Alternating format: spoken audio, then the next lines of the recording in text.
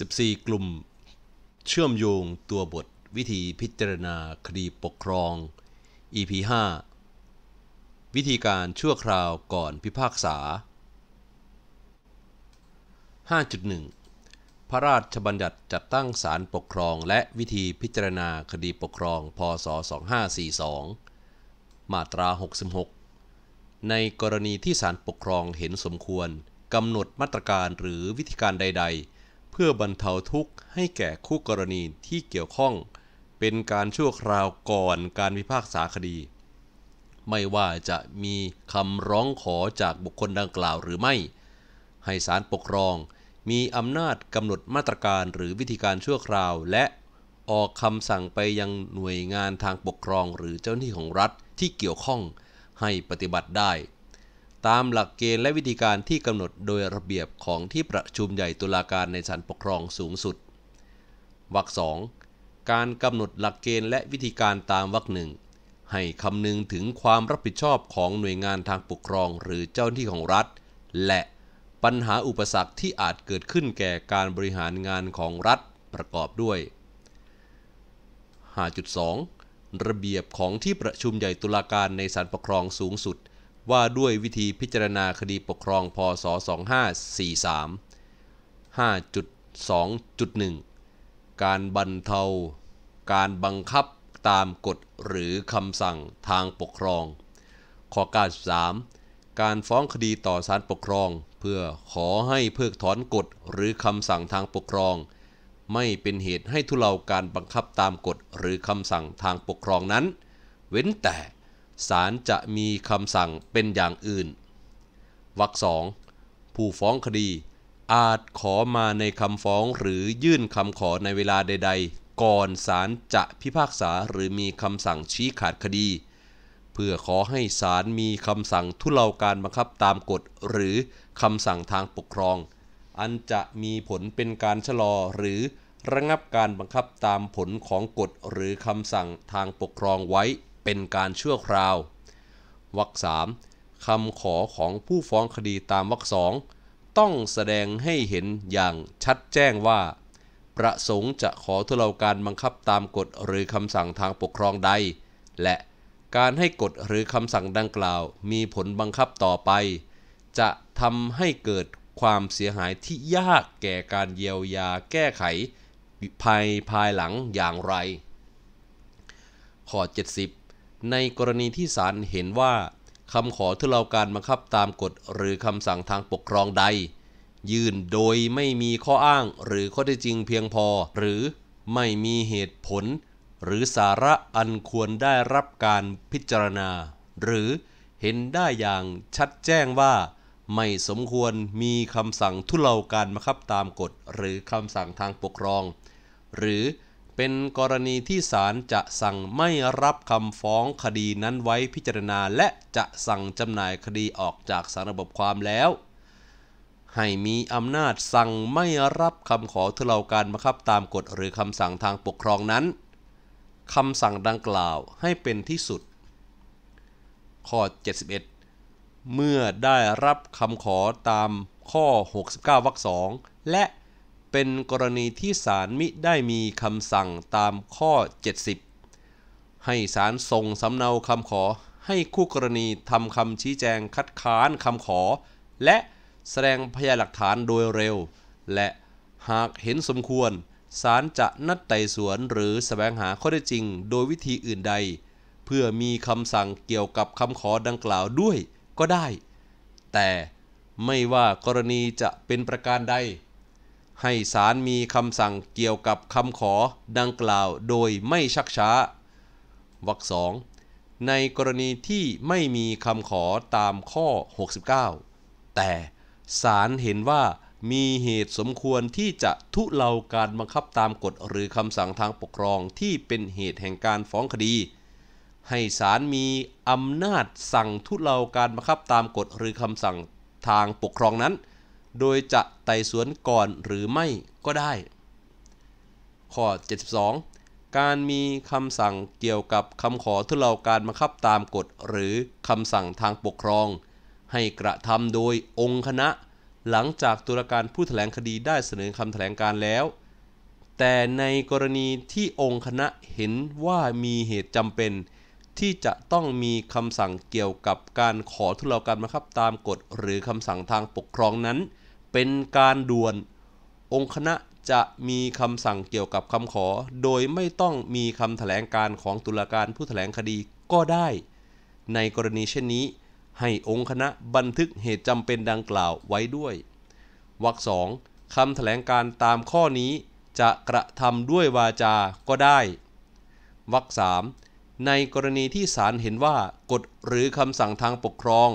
ที่เป็นเหตุแห่งการฟ้องคดีนั้น น่าจะไม่ชอบด้วยกฎหมาย และการให้กฎหรือคำสั่งทางปกครองดังกล่าว มีผลใช้บังคับต่อไปจะทำให้เกิดความเสียหายอย่างร้ายแรงที่ยากแก่การเยียวยาแก้ไขในภายหลัง ทั้งการทุเลาการบังคับตามกฎหรือคำสั่งทางปกครองนั้น ไม่เป็นอุปสรรคแก่การบริหารงานของรัฐ หรือแก่บริการสาธารณะศาลมีอำนาจสั่งทุเลาการบังคับตามกฎหรือคำสั่งทางปกครองได้ ตามที่เห็นสมควร วรรคสี่ให้ศาลแจ้งคำสั่งทุเลาการบังคับตามกฎหรือคำสั่งทางปกครอง ให้คู่กรณีและผู้ออกกฎหรือคำสั่งดังกล่าวทราบโดยพลัน และให้คำสั่งศาลมีผลเมื่อผู้ออกกฎหรือคำสั่ง ได้รับแจ้งคำสั่งนั้นแล้ว ข้อ 72ทับ1ในกรณีคำขอตามข้อ 69วรรคสองโดยผู้ขอได้ยื่นคำร้องรวมมาด้วย เพื่อให้ศาลพิจารณาคำขอและมีคำสั่งเกี่ยวกับคำขอโดยเร่งด่วน และศาลมิได้มีคำสั่งยกคำร้องให้พิจารณาคำขอ และมีคำสั่งเกี่ยวกับคำขอโดยเร่งด่วน ให้ศาลพิจารณาคำขอเป็นการด่วน ถ้าเป็นที่พอใจจากคำขอและพยานหลักฐานประกอบคำขอ หรือจากคำแถลงของผู้ขอหรือจากพยานหลักฐานที่ผู้ขอนำมาสืบ หรือที่ศาลแสวงหามาเองว่าคำขอนั้นเป็นคำขอที่ต้องมีคำสั่งโดยเร่งด่วน และมีข้อเท็จจริงเพียงพอที่ศาลจะมีคำสั่งเกี่ยวกับคำขอได้แล้ว ให้ศาลมีอำนาจสั่งทุเลาการบังคับตามกฎหรือคำสั่งทางปกครอง หรือยกคำขอ ตามแต่จะเห็นสมควร โดยไม่ต้องมีคำแถลงการของตุลาการผู้แถลงคดีก็ได้ คำสั่งศาลที่ยกคำขอตามข้อ 69วรรคสองให้เป็นที่สุดวรรคสองผู้มีส่วนได้เสียอาจยื่นคำร้องโดยพลัน ให้ศาลยกเลิกคำสั่งทุเลาการบังคับตามกฎหรือคำสั่งทางปกครองนั้นเสีย และให้นำบทบัญญัติในวรรคก่อนมาใช้บังคับโดยอนุโลม ถ้าศาลมีคำสั่งยกคำสั่งทุเลาการบังคับตามกฎหรือคำสั่งทางปกครอง คำสั่งเช่นว่านี้ให้เป็นที่สุด ในกรณีที่ศาลมีคำสั่งยกคำร้อง ให้ผู้มีส่วนได้เสีย มีสิทธิอุทธรณ์ต่อศาลปกครองสูงสุดได้ โดยให้นำความในข้อ 73 มาใช้บังคับโดยอนุโลม แต่เมื่อผู้มีส่วนได้เสียได้ใช้สิทธิดำเนินการตามวรรคนี้แล้ว จะใช้สิทธิอุทธรณ์ตามข้อ 73 อีกไม่ได้วรรคสาม ในกรณีที่ศาลมีคำสั่งยกคำร้องให้พิจารณาคำขอ และมีคำสั่งเกี่ยวกับคำขอตามข้อ 69วรรคสองโดยเร่งด่วน ให้ศาลพิจารณาคำขอและมีคำสั่งเกี่ยวกับคำร้องดังกล่าวต่อไป ข้อ 73คำสั่งทุเลาการบังคับตามกฎหรือคำสั่งทางปกครอง ให้ผู้มีส่วนได้เสีย มีสิทธิอุทธรณ์ต่อศาลปกครองสูงสุดได้ ภายใน 30 วัน นับแต่วันที่ผู้นั้นได้รับแจ้งหรือรับทราบคำสั่ง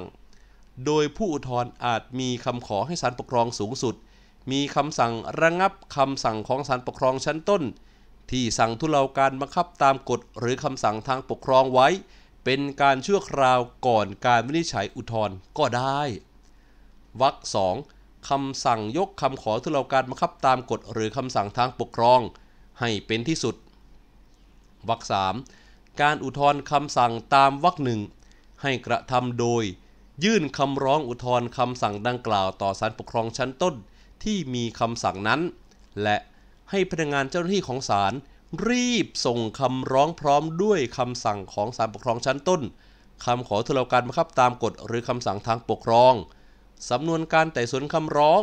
คำแถลงการหรือบันทึกคำแถลงการของตุลาการผู้แถลงคดี และเอกสารหรือสำเนาเอกสารที่เกี่ยวข้อง ไปยังศาลปกครองสูงสุดโดยพลันวรรคสีให้ประธานศาลปกครองสูงสุด ส่งคำร้องให้องค์คณะในศาลปกครองสูงสุด เพื่อพิจารณาคำร้อง โดยให้นำความในข้อ 71วรรคหนึ่งและข้อ 72 มาใช้บังคับโดยอนุโลม แต่องค์คณะจะไม่นัดไต่สวนก็ได้ แล้วมีคำสั่งยืนตามคำสั่งของศาลปกครองชั้นต้น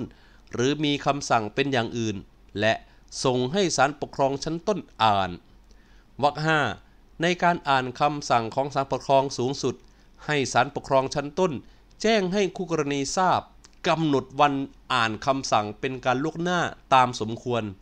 ถ้าไม่มีคู่กรณีมาศาลในวันนัดอ่านคำสั่งศาลให้ศาลงดการอ่านและบันทึกไว้ และให้ศาลปกครองชั้นต้น แจ้งคำสั่งดังกล่าว ทางไปรษณีย์ลงทะเบียนตอบรับไปยังคู่กรณีทั้งหมด หรือบางส่วนที่มิได้มาศาลข้อ 74 ในกรณีที่คำพิพากษาหรือคำสั่งชี้ขาดของศาลมิได้กล่าวถึงคำสั่งทุเลาการบังคับตามกฎ หรือคำสั่งทางปกครอง ที่ศาลได้สั่งไว้ระหว่างการพิจารณา ให้คำสั่งดังกล่าวมีผลใช้บังคับต่อไป จนกว่าจะ พ้นระยะเวลาการอุทธรณ์ในกรณีที่ไม่มีการอุทธรณ์หรือจนกว่าศาลมีคำสั่งถึงที่สุดไม่รับอุทธรณ์ในกรณีที่มีการอุทธรณ์หากศาลมีคำสั่งรับอุทธรณ์ให้คำสั่งดังกล่าว มีผลใช้บังคับต่อไปจนกว่าศาลปกครองสูงสุด จะมีคำสั่งเป็นอย่างอื่น ข้อ 115 ในกรณีที่มีการอุทธรณ์คำสั่งทุเลาการบังคับตามกฎหรือคำสั่งทางปกครองของศาลปกครองชั้นต้นตามข้อ 73 และผู้อุทธรณ์มีคำขอให้ศาลปกครองสูงสุด มีคำสั่งระงับคำสั่งทุเลาการบังคับตามกฎหรือคำสั่งทางปกครองของศาลปกครองชั้นต้นดังกล่าวไว้เป็นการชั่วคราว ถ้าศาลปกครองสูงสุดเห็นว่าคำสั่งทุเลาการบังคับตามกฎหรือคำสั่งทางปกครองนั้น ทำให้หรือจะทำให้เกิดความเสียหายอย่างร้ายแรงต่อประโยชน์สาธารณะ หรือต่อสิทธิของผู้อุทธรณ์ศาลปกครองสูงสุดมีอำนาจสั่งระงับคำสั่งทุเลาการบังคับตามกฎหรือคำสั่งทางปกครองของศาลปกครองชั้นต้นไว้เป็นการชั่วคราว จนกว่าศาลปกครองสูงสุดจะมีคำสั่งอุทธรณ์นั้น 5.2.3 การบรรเทาทุกข์ชั่วคราว ข้อ 75 นอกจากกรณีที่กล่าวในข้อ 69 ในเวลาใด ๆ ก่อนศาลมีคำพิพากษาหรือคำสั่งชี้ขาดคดี ผู้ฟ้องคดีอาจยื่นคำขอให้ศาลมีคำสั่งกำหนดมาตรการ หรือวิธีการคุ้มครองอย่างใด ๆ เพื่อบรรเทาทุกข์ชั่วคราวก่อนการพิพากษา หรือคู่กรณีอาจยื่นคำขอให้ศาลมีคำสั่งกำหนดวิธีการเพื่อคุ้มครองประโยชน์ของผู้ขอ ในระหว่างการพิจารณาหรือเพื่อบังคับตามคำพิพากษาได้ ข้อ 76 คำสั่งของศาลในการกำหนดมาตรการหรือวิธีการคุ้มครองอย่างใด ๆ เพื่อบรรเทาทุกข์ชั่วคราวก่อนการพิพากษา หรือวิธีการเพื่อคุ้มครองประโยชน์ของผู้ขอในระหว่างการพิจารณา หรือเพื่อบังคับตามคำพิพากษา ให้กระทำโดยองค์คณะ โดยไม่ต้องมีคำแถลงการของตุลาการผู้แถลงคดี เว้นแต่องค์คณะจะเห็นสมควรให้มีคำแถลงการ ในกรณีดังกล่าวคำแถลงการนั้นจะกระทำด้วยวาจาก็ได้ วรรคสองคำสั่งไม่รับหรือยกคำขอของผู้ฟ้องคดีหรือคู่กรณีให้เป็นที่สุด วรรคสามผู้มีส่วนได้เสีย มีสิทธิอุทธรณ์คำสั่งกำหนดมาตรการหรือวิธีการคุ้มครองอย่างใด ๆ เพื่อบรรเทาทุกชั่วคราวก่อนการพิพากษา หรือวิธีการเพื่อคุ้มครองประโยชน์ของผู้ขอในระหว่างการพิจารณา พื่อบังคับตามคำพิพากษาต่อศาลปกครองสูงสุด ภายใน 30 วันนับแต่วันที่ผู้นั้นได้รับแจ้งหรือทราบคำสั่งศาลวรรคสีการอุทธรณ์คำสั่งตามวรรคหนึ่งให้กระทำโดยยื่นคำร้องอุทธรณ์คำสั่งดังกล่าวต่อศาลปกครองชั้นต้นที่มีคำสั่งนั้น และให้พนักงานเจ้าหน้าที่ของศาลรีบส่งคำร้องพร้อมด้วยคำสั่งของศาลปกครองชั้นต้น คำขอกำหนดมาตรการหรือวิธีการคุ้มครองอย่างใด ๆ เพื่อบรรเทาทุกชั่วคราวก่อนการพิพากษาหรือวิธีการเพื่อคุ้มครองประโยชน์ของผู้ขอในระหว่างการพิจารณา หรือเพื่อบังคับตามคำพิพากษาสำนวนการไต่สวนคำขอ บันทึกคำแถลงการของตุลาการผู้แถลงคดี และเอกสารหรือสำเนาเอกสารที่เกี่ยวข้อง ไปยังศาลปกครองสูงสุด โดยพลันวรรคห้า ให้ประธานศาลปกครองสูงสุด ส่งคำร้องให้องค์คณะในศาลปกครองสูงสุด เพื่อพิจารณาคำร้อง โดยให้นำความในข้อ 71วรรคหนึ่งและวรรคหนึ่งของข้อนี้ มาใช้บังคับโดยอนุโลม แต่องค์คณะจะไม่นัดไต่สวนก็ได้ แล้วมีคำสั่งยืนตามคำสั่งของศาลปกครองชั้นต้น หรือมีคำสั่งเป็นอย่างอื่น แล้วส่งให้ศาลปกครองชั้นต้นอ่าน วรรคหกในการอ่านคำสั่งของศาลปกครองสูงสุด ให้ศาลปกครองชั้นต้น แจ้งให้คู่กรณีทราบกำหนดวันอ่านคำสั่งเป็นการล่วงหน้าตามสมควร ถ้าไม่มีคู่กรณีมาศาลในวันนัดอ่านคำสั่งศาลให้ศาลงดการอ่านและบันทึกไว้ และให้ศาลปกครองชั้นต้น แจ้งคำสั่งดังกล่าวทางไปรษณีย์ลงทะเบียนตอบรับ ไปยังคู่กรณีทั้งหมดหรือบางส่วนที่มิได้มาศาล ข้อ 76ทับหนึ่งในกรณีที่คำขอตามข้อ 75 โดยผู้ยื่นคำขอได้ยื่นคำร้องรวมมาด้วย เพื่อให้ศาลพิจารณาคำขอและมีคำสั่งเกี่ยวกับคำขอโดยเร่งด่วน และศาลมิได้มีคำสั่งยกคำร้องให้พิจารณาคำขอและมีคำสั่งเกี่ยวกับคำขอโดยเร่งด่วน ให้ศาลพิจารณาคำขอเป็นการด่วน ถ้าเป็นที่พอใจจากคำขอและพยานหลักฐานประกอบคำขอ หรือจากคำแถลงของผู้ขอ หรือจากพยานหลักฐานที่ผู้ขอนำมาสืบ หรือที่ศาลแสวงหามาเองว่าคำขอนั้นเป็นคำขอที่ต้องมีคำสั่งโดยเร่งด่วน และมีข้อได้จริงเพียงพอที่ศาลจะมีคำสั่งเกี่ยวกับคำขอได้แล้ว ให้ศาลมีคำสั่งกำหนดมาตรการหรือวิธีการคุ้มครองอย่างใด ๆ เพื่อบรรเทาทุกชั่วคราวก่อนการพิพากษา หรือวิธีการเพื่อคุ้มครองประโยชน์ของผู้ขอในระหว่างพิจารณา หรือเพื่อบังคับตามคำพิพากษา หรือยกคำขอตามแต่จะเห็นสมควร โดยไม่ต้องมีคำแถลงการของตุลาการผู้แถลงคดีก็ได้คำสั่งศาลที่ยกคำขอตามข้อ 75 ให้เป็นที่สุดวรรคสองผู้มีส่วนได้เสียอาจยื่นคำร้องโดยพลัน ให้ศาลยกคำสั่งกำหนดมาตรการหรือวิธีการคุ้มครองอย่างใด ๆ เพื่อบรรเทาทุกชั่วคราวก่อนการพิพากษา หรือวิธีการเพื่อคุ้มครองประโยชน์ของผู้ขอในระหว่างการพิจารณา หรือเพื่อบังคับตามคำพิพากษานั้นเสีย และให้นำบทบัญญัติในวรรคก่อนมาใช้บังคับโดยอนุโลม ถ้าศาลมีคำสั่งยกคำสั่งกำหนดมาตรการ หรือวิธีการคุ้มครองอย่างใด ๆ เพื่อบรรเทาทุกข์ชั่วคราวก่อนการพิพากษา หรือวิธีการเพื่อคุ้มครองประโยชน์ของผู้ขอในระหว่างการพิจารณา หรือเพื่อบังคับตามคำพิพากษาคำสั่งเช่นว่านี้ให้เป็นที่สุด ในกรณีที่ศาลมีคำสั่งยกคำร้อง ให้ผู้มีส่วนได้เสีย มีสิทธิอุทธรณ์ต่อศาลปกครองสูงสุดได้ โดยให้นำความในข้อ 76 มาใช้บังคับโดยอนุโลม แต่ เมื่อผู้มีส่วนได้เสียได้ใช้สิทธิดำเนินการตามวรรคนี้แล้ว จะใช้สิทธิอุทธรณ์ตามข้อ 76 อีกไม่ได้วรรค3ในกรณีที่ศาลมีคำสั่งยกคำร้อง ให้พิจารณาคำขอและมีคำสั่งเกี่ยวกับคำขอตามข้อ 75 โดยเร่งด่วน ให้ศาลพิจารณาคำขอและมีคำสั่งเกี่ยวกับคำขอดังกล่าวต่อไป ข้อ 77 ให้นำความในลักษณะหนึ่งของภาค 4 แห่งประมวลกฎหมายวิธีพิจารณาความแพ่ง มาใช้บังคับกับหลักเกณฑ์ในการพิจารณาคำขอ เงื่อนไขในการออกคำสั่งของศาลและผลของคำสั่งกำหนดมาตรการหรือวิธีการคุ้มครองอย่างใดๆ เพื่อบรรเทาทุกข์ชั่วคราวก่อนการพิพากษาหรือวิธีการคุ้มครองประโยชน์ของผู้ขอในระหว่างการพิจารณา หรือเพื่อบังคับตามคำพิพากษาโดยอนุโลมเท่าที่สภาพของเรื่องจะเปิดช่องให้กระทำได้ และไม่ขัดต่อระเบียบนี้ และหลักกฎหมายทั่วไปว่าด้วยวิธีพิจารณาคดีปกครอง 5.3 ประมวลกฎหมายวิธีพิจารณาความแพ่ง มาตรา 254 โจทย์ชอบที่จะยื่น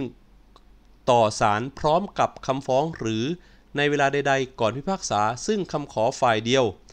ร้องขอให้ศาลมีคำสั่งภายในบังคับแห่งเงื่อนไข ซึ่งจะกล่าวต่อไปนี้ เพื่อจัดให้มีวิธีคุ้มครองใด ๆ ดังต่อไปนี้ อนุหนึ่งให้ยึดหรืออายัดทรัพย์สินที่วิพาทหรือทรัพย์สินของจำเลยทั้งหมด หรือบางส่วนไว้ก่อนพิพากษา รวมทั้งจำนวนเงินหรือทรัพย์สินของบุคคลภายนอก ซึ่งถึงกำหนดชำระแก่จำเลย อนุ 2 ให้ศาลมีคำสั่งห้ามชั่วคราว มิให้จำเลยกระทำซ้ำหรือกระทำต่อไป ซึ่งการละเมิดหรือการผิดสัญญาหรือ การกระทำที่ถูกฟ้องร้อง หรือมีคำสั่งอื่นใด ในอันที่จะบรรเทาความเดือดร้อน เสียหายที่โจทย์อาจได้รับต่อไป เนื่องจากการกระทำของจำเลยของจำเลย หรือมีคำสั่งห้ามชั่วคราวม่ให้จำเลยโอน ขายยักย้ายหรือจำหน่าย ซึ่งทรัพย์สินที่พิพาทหรือทรัพย์สินของจำเลย หรือมีคำสั่งให้หยุดหรือป้องกันการเปลืองไปเปล่า หรือการบุบสลายซึ่งทรัพย์สินดังกล่าว ทั้งนี้จนกว่าคดีจะถึงที่สุด หรือศาลจะมีคำสั่งเป็นอย่างอื่น อนุ 3 ให้ศาลมีคำสั่งให้นายทะเบียน พนักงานเจ้าหน้าที่หรือบุคคลอื่น ผู้มีอำนาจหน้าที่ตามกฎหมาย ระงับการจดทะเบียน การแก้ไขเปลี่ยนแปลงทางทะเบียน หรือการเพิกถอนการจดทะเบียนที่เกี่ยวกับทรัพย์สินที่พิพาทหรือทรัพย์สินของจำเลย หรือที่เกี่ยวกับการกระทำที่ถูกฟ้องร้องไว้ชั่วคราว จนกว่าคดีจะถึงที่สุด หรือศาลจะมีคำสั่งเป็นอย่างอื่น ทั้งนี้เท่าที่ไม่ขัดหรือแย้งต่อบทบัญญัติแห่งกฎหมายที่เกี่ยวข้อง อนุ4ให้จับกลุ่มและกักขังจำเลยไว้ชั่วคราว มาตรา 260 ในกรณีที่คำพิพากษาหรือคำสั่งชี้ขาดคดี มิได้กล่าวถึงวิธีการชั่วคราวก่อนพิพากษาที่ศาลได้สั่งไว้ในระหว่างการพิจารณา อนุหนึ่งถ้าคดีนั้นศาลตัดสินให้จำเลยเป็นฝ่ายชนะคดี เต็มตามข้อหาหรือบางส่วนคำสั่งของศาล เกี่ยวกับวิธีการชั่วคราวในส่วนที่จำเลยชนะคดีนั้น ให้ถือว่าเป็นอันยกเลิกเมื่อพ้นกำหนด 7 วัน นับแต่วันที่ศาลมีคำพิพากษาหรือคำสั่ง เว้นแต่โจทย์จะได้ยื่นคำขอฝ่ายเดียวต่อศาลชั้นต้น ภายในกำหนดเวลาดังกล่าว แสดงว่าตนประสงค์จะยื่นอุทธรณ์หรือดีกาคำพิพากษาหรือคำสั่งนั้น และมีเหตุอันสมควรที่ศาลจะมีคำสั่งให้วิธีการชั่วคราว เช่นว่านั้น ยังคงมีผลใช้บังคับต่อไป ในกรณีเช่นว่านี้ ถ้าศาลชั้นต้นมีคำสั่งให้ยกคำขอของโจทย์คำสั่งของศาลให้เป็นที่สุด ถ้าศาลชั้นต้นมีคำสั่งให้วิธีการชั่วคราวยังคงมีผลใช้บังคับต่อไปคำสั่งของศาลชั้นต้น ให้มีผลใช้บังคับต่อไปจนกว่าจะครบกำหนดยื่นอุทธรณ์หรือฎีกา หรือศาลมีคำสั่งถึงที่สุด ไม่รับอุทธรณ์หรือฎีกาแล้วแต่กรณี เมื่อมีการอุทธรณ์หรือฎีกาแล้ว คำสั่งของศาลชั้นต้น ให้มีผลใช้บังคับต่อไปจนกว่าศาลอุทธรณ์หรือศาลฎีกาจะมีคำสั่งเป็นอย่างอื่น อนุ 2 ถ้าคดีนั้นศาลตัดสินให้โจทย์เป็นฝ่ายชนะคดีคำสั่งของศาลเกี่ยวกับวิธีการชั่วคราว ยังคงมีผลใช้บังคับต่อไปเท่าที่จำเป็น เพื่อปฏิบัติตามคำพิพากษาหรือคำสั่งของศาลมาตรา 264 นอกจากกรณีที่บัญญัติไว้ในมาตรา 253 และมาตรา 254 คู่ความชอบที่จะยื่นคำขอต่อศาลเพื่อให้มีคำสั่งเกี่ยวกับวิธีการคุ้มครองประโยชน์ของผู้ขอในระหว่างการพิจารณา หรือเพื่อบังคับตามคำพิพากษา เช่น ให้นำทรัพย์สินหรือเงินที่พิพาทมาวางต่อศาลหรือต่อบุคคลภายนอก หรือให้ตั้งผู้จัดการหรือผู้รักษาทรัพย์สินของห้างร้านที่ทำการค้าที่พิพาทหรือให้จัดให้บุคคลผู้ไร้ความสามารถอยู่ในความปกครองของบุคคลภายนอก กลุ่มที่ 6 EP 6 นะฮะแสวงหาข้อเท็จจริง ขอบคุณสำหรับการติดตามช่อง Legal v i d e o Variety ครับ สมัครสมาชิกเขียนตอบข้อกฎหมาย กดไลค์กดติดตามให้ครบ 1,000 ด้วยนะครับ ภายในปีนี้ตั้งเป้าไว้ ขอบคุณทุกคนที่ให้ความร่วมมือครับ ขอบพระคุณทุกการปฏิสัมพันธ์ ทุกการปฏิสัมพันธ์คือกำลังใจในการทำคลิปนะฮะเห็นยอดไลค์ขึ้นเห็นคอมเมนต์ขึ้นก็อยากจะทำคลิปนะฮะอันนี้จริง ๆ ขอบพระคุณมากครับ สวัสดีครับ